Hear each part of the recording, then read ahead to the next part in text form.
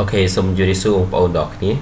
ជួបគ្នានៅវីដេអូមួយទៀតដែលនៅក្នុងវីដេអូហ្នឹងគឺខ្ញុំនឹងលើកយកនៅមេរៀនតាក់ទងទៅនឹងការប្រើប្រាស់កម្មវិធី Word ហើយចំណុចដែលខ្ញុំបង្ហាញនេះវាតាក់ទងចំណុចសំខាន់មួយចំនួនដែលដែលយើងគួរស្វែងយល់ហើយខ្ញុំជឿជាក់ថាមានបងប្អូនតែងតែតាមដាននៅ channel របស់យើងឬក៏ធ្វើការតាមដាននៅ page របស់យើងតាក់ទងចំណេះដឹងផ្សេងផ្សេងហើយខ្ញុំមានពេលខ្ញុំចេះធ្វើវាដើម្បីចែករំលែកនៅអ្វីដែលខ្ញុំមាន ហើយរាល់ការរិះគន់ដើម្បីសព្នាខ្ញុំនឹងព្យាយាមដើម្បីធ្វើវាឲ្យកាន់តែល្អឡើងវិញបាទនៅថ្ងៃនេះគឺខ្ញុំចង់លើកយកអំពី tab ការ table ការបង្កើតតារាងនៅលើ Word កាលពីវីដេអូខ្ញុំបានបង្ហាញអំពីការបង្កើតតារាងនៅលើ Word តរតែម្ដងប៉ុន្តែនៅវីដេអូនេះគឺខ្ញុំចង់បង្កើតតារាងដែរប៉ុន្តែខ្ញុំ Excel យើងបង្កើតដែរប៉ុន្តែយើងទាញចេញ Excel មក នៅក្នុង Word វាមានទូនាទីមួយដែលយើងអាចទាញចេញពី Excel អាហ្នឹងស៊េរីខ្ញុំមិនដឹងថាស៊េរី2007វាមានអត់ទេក្រោមហ្នឹងប៉ុន្តែចាប់ពី2010ទៅគឺវាមានវាមានណាអញ្ចឹងទូនាទីមួយនៅក្នុង insert នេះគឺយើងវាមាន Excel កន្លែងនេះបងប្អូនចុចនៅលើវាមកពេលវា load មកទីនេះបងប្អូនមើលអញ្ចឹងតារាងនេះវាយើងមើលមកដូចនៅក្នុង Excel តែម្ដងបងប្អូនគេមានលេខ1លេខ2អូខេហើយយើងអាចចាប់ទាញធំក៏បានដែរបាទនេះយើងទាញនៅកែនេះ បាទយើងទាធំមកអញ្ចឹងនៅពេលដែលយើងធ្វើបន្ទុកសិស្សអានេះខ្ញុំគ្រាន់បង្ហាញធម្មតាពេលបងប្អូនធ្វើនៅក្នុងគេនៅក្នុង Word យើងធ្វើការកណនាគឺវាពិបាកនៅក្នុងការកណនាប៉ុន្តែបើយើងធ្វើនៅ Excel គឺយើងងាយស្រួលកណនា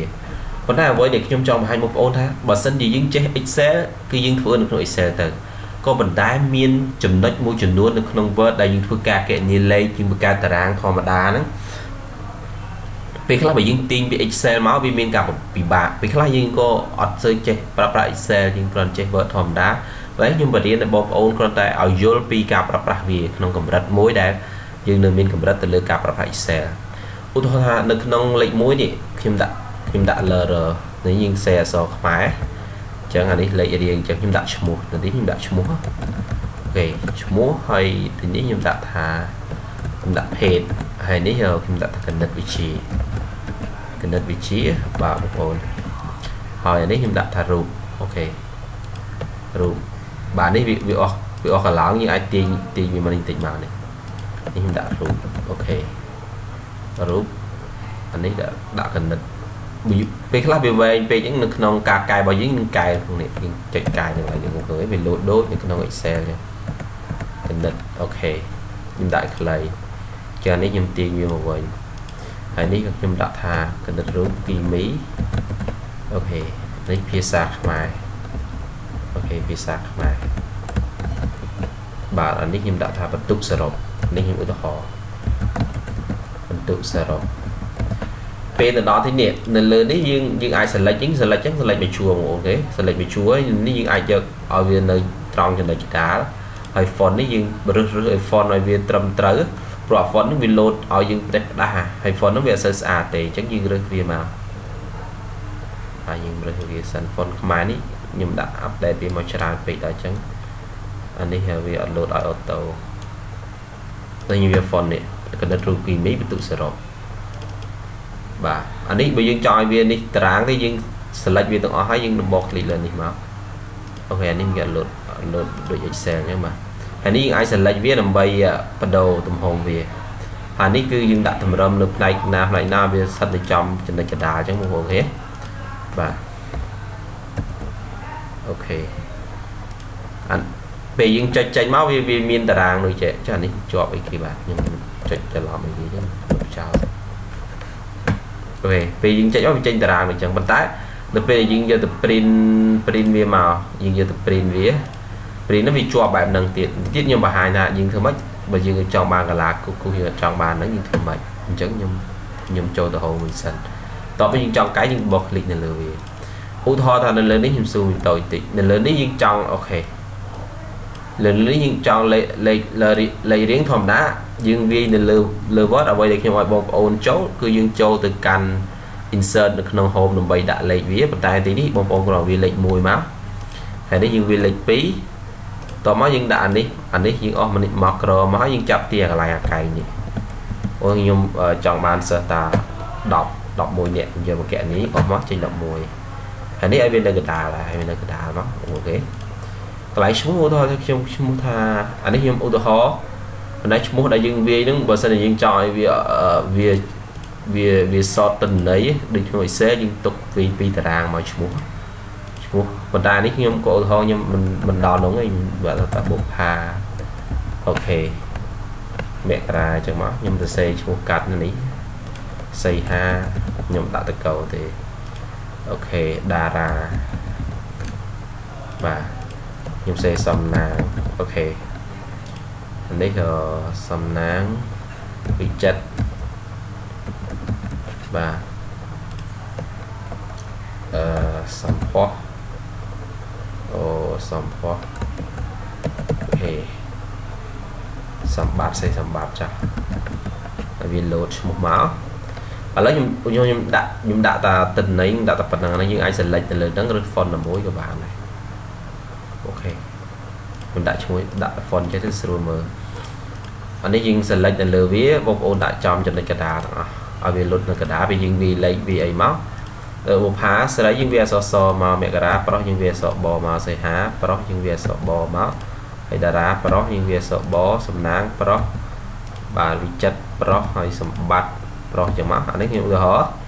ឧទាហរណ៍នៅលើមុខវិជ្ជាដែលគាត់ធ្វើឧទាហរណ៍កណិតវិជ្ជាគាត់ធ្វើបាន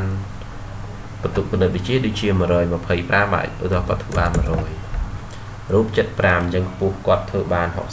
60គីមី35នេះចាស់ ខ្មែរគាត់ធ្វើ75គាត់ធ្វើបាន50នេះខ្ញុំដល់គោលការណ៍ថ្មីក្រសួងទុកម៉ានខ្ញុំឧទាហរណ៍បាយបងប្អូនណាអញ្ចឹងនេះយើងវាដូចគ្នាទៅខ្ញុំ80 90អឺ40 35នេះយើងឧទាហរណ៍ឥឡូវខ្ញុំស្កប់ខ្ញុំវាឲ្យខ្ញុំបាទបាទឥឡូវខ្ញុំយកយកប៉ុណ្ណឹងនេះខ្ញុំយកប៉ុណ្ណឹងមហាបហាយបងប្អូនតបមកយើងចង់ធ្វើការកណនាបូកបន្ទុកនេះចូល នៅលើ Excel នេះវាដូចនៅលើ Excel ចឹងវាឃើញវាមាន insert មាន layout មាន formula មាន data មានអីវាដូចនៅក្នុង Excel ចឹងក្រោយយើងយើងយើងយើង connect វាទៅ Excel ដើម្បីធ្វើការកណនាតោះខ្ញុំធ្វើការបូកបន្ទុកអូខេវានេះវាវាអសបទេសញ្ញាស្មើអញ្ចឹងអានេះអូខេខ្ញុំលុបចោលទៅសិនអញ្ចឹងដើម្បីកណនានៅក្នុង Excel យើងវាតែសញ្ញាស្មើមកខ្ញុំចង់បូកនេះបញ្ចូលគ្នាបូកវាមក ហើយចុចសញ្ញាបូកមកខ្ញុំកណនេះបូកវាទៀតមកអូខេនេះបូកវាហើយយើងបូកវាទៀតមកខ្ញុំចុចកន្លងនេះបាទកន្លងនេះអូខេអាកន្លងនេះវាបាំងឥឡូវខ្ញុំទាញវាໄວតិចសិន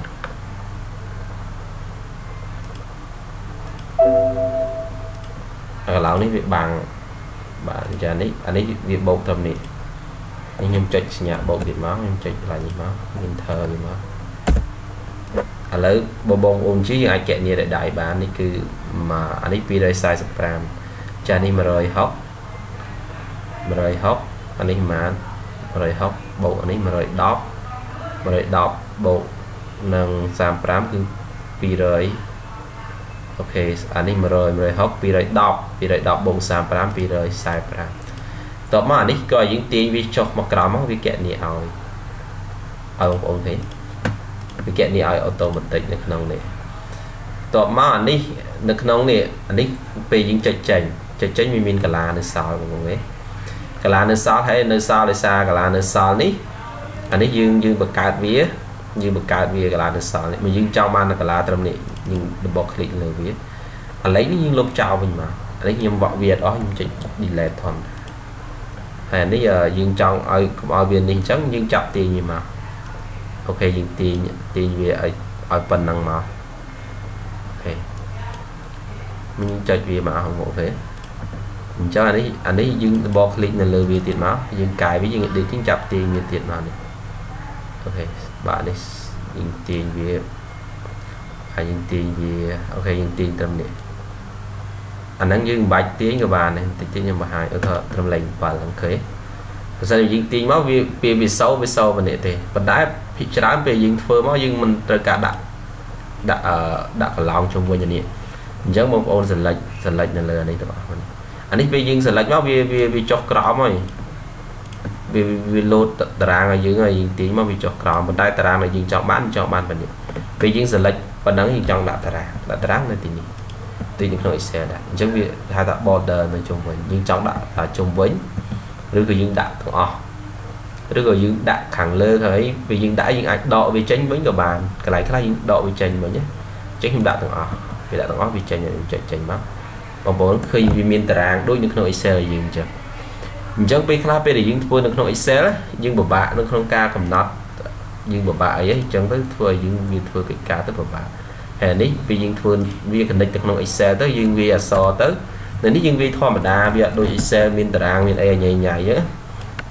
ខ្ញុំសេតារាងបន្ទុកអានេះយើងអាចសេខាងលើក៏បាននេះបាទនៅខាងលើនេះមកហើយនេះគឺខ្ញុំខ្ញុំចាប់ទីវាចុះក្រោមមើលអត់ការី double click អូខេបាទយើងនៅខាងនេះខ្ញុំ enter តម្លាក់នេះ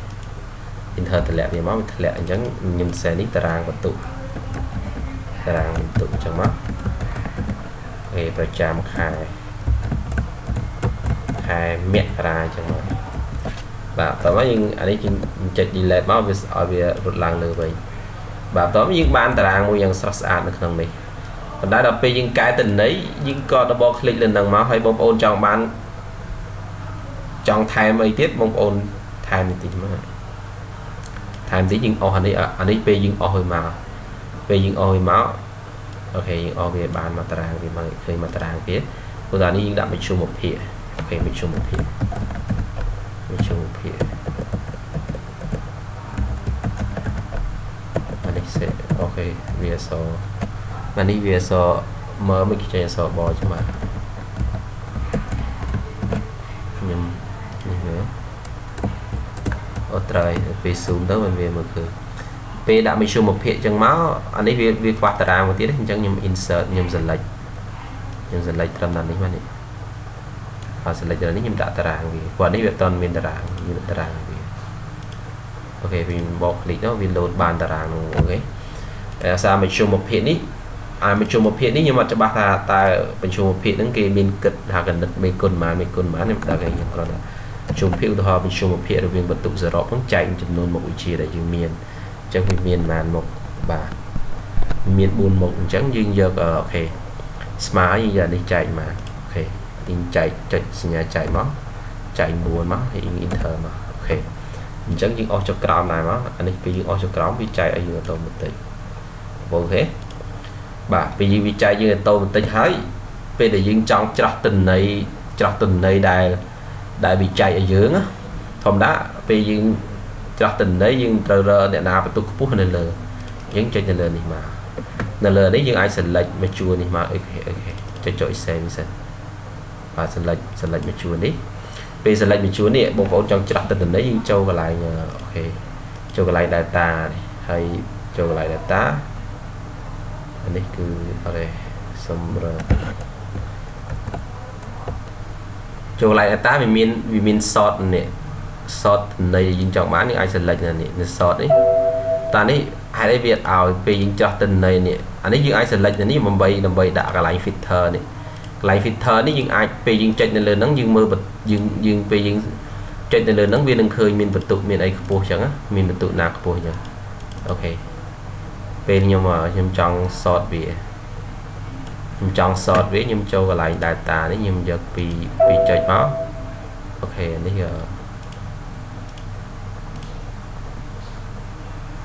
នេះពីពី R ទៅ set នេះពី R ទៅ set អញ្ចឹងធម្មតាពី R វាដំបូងពីយើងច្រោះយើងយកពី set ទៅ R វិញពេលនេះគឺវាអត់ស្គាល់ទេបើមិនខ្ញុំចុចច្រឡំបាទអញ្ចឹងយើងចាស់តំណ័យយើងនៅពេលយើងចុចកន្លែងនេះពេលខ្ញុំបង្កើតតារាងមិញមកខ្ញុំចង់ច្រឡំបាទចុចនៅលើវាពេលយើងចុចនៅលើវាវាកន្លែងនេះកន្លែងនេះវាវាពី to នេះ small to ពីមានពីតូចទៅធំហើយនឹងពីធំទៅតូច អញ្ចឹងពេលយើងចុចមកយើងឃើញឃើញថាបន្ទុកអ្នកណាគេដែលធំជាងគេបងប្អូនគេបាទយើងបន្ទុកណាគេធំជាងគេលេខ1អញ្ចឹងបើសិនពេលខ្លះពេលពេលដែលយើងចំណាយពេលចំណាយពេលធ្វើបន្ទុកអេសបងប្អូនអ្នកខ្លះអង្គុយបោកដកលេខអញ្ចឹងអញ្ចឹងនរណាបន្ទុកច្រើនគាត់ទៅសេចូលទៅសេចូលតែបើយើងធ្វើនៅលើ Word ឧទាហរណ៍ថាក្នុងថ្នាក់មួយដែលលោកគ្រូអ្នកគ្រូមួយចំនួនគាត់ធ្វើការគ្រប់គ្រងបន្ទុកសិស្សអញ្ចឹងអញ្ចឹងយើងមានបន្ទុកពេលយើង មួយឆ្នាំយើងបរៀនថ្នាក់ទី12អញ្ចឹងយើងវាយតារាងតាមចូលតែម្ដងមកហើយបន្តមកយើងគ្រាន់តែវាយតិន័យនឹងចូលពេលយើងធ្វើហើយវាវាកណនីយើងអូតូម៉ាទិកយើងគ្រាន់តែដូរតិន័យកន្លែងនេះមកឧទាហរណ៍ថាតិន័យកន្លែងនេះខ្ញុំខ្ញុំដាក់70អញ្ចឹងខ្ញុំ enter ទៅអាកន្លែងនេះវា load ដល់យើងអូតូម៉ាទិកបងប្អូនណាហើយនេះខ្ញុំដាក់90អញ្ចឹងអញ្ចឹងអតិន័យវា load ឲ្យយើងអូតូម៉ាទិកហើយខ្ញុំដាក់125អញ្ចឹង ចាតិន័យនេះវាវាកាយយើងអូតូម៉ាទិកមានន័យយើងចំណាយពេលគ្រាន់តែវាបញ្ចូលបន្ទុកសិស្សតិន័យចូលនោះអានេះយើងបានតែម្ដងយើងអត់ខ្វល់ដល់ខែយើងផ្ញើតិន័យគេដល់ខែយើងផ្ញើតិន័យគេហើយប៉ុន្តែខ្ញុំគិតថាប្រហែលជាក្រសួងគេមានគេមានកម្មវិធីមួយសម្រាប់គេសរសេរនៅ software មួយសម្រាប់ឲ្យយើងងាយស្រួលតែអ្វីដែលខ្ញុំចង់បង្ហាញបងប្អូននៅក្នុងមេរៀននេះខ្ញុំគ្រាន់ចង់បង្ហាញបងប្អូនថា យើងអាចប្រើវាសម្រាប់កិច្ចការផ្សេងផ្សេងដែលយើងគិតថាវាយើងយកវាមកគ្រាន់តែសម្រាប់ធ្វើការបោកដកទេចានេះខ្ញុំ preview មានជាប់នេះអត់បាទខ្ញុំ print print វាមើលអូខេនេះអានេះវាជាប់អញ្ចឹងបើវាជាប់ទេបងប្អូនមុនយកទៅ print យើងដោះវាចេញមកនេះចុចនៅលើនេះវិញមកហើយយើងចូលកន្លែង data នេះវិញមកយើងដកកន្លែង filter នឹងចេញមកពេលយើងកណនីហើយអញ្ចឹងយើងអាចខ្ញុំបន្លាយវាទៅជា PDF មើលតើវាមានបញ្ហាអត់អូ ខេ PDF បាទអូខេគឺស្អាតតែម្ដងអូខេបាទនៅក្នុងវីដេអូហ្នឹងគឺខ្ញុំសូមបញ្ចប់ប៉ុណ្ណឹងហើយខ្ញុំគិតថាវាវែងបន្តិចសម្រាប់បងប្អូនអរគ្នាហើយយើងនឹងជួបគ្នានៅវីដេអូក្រោយៗទៀតបាទសូមអរគុណ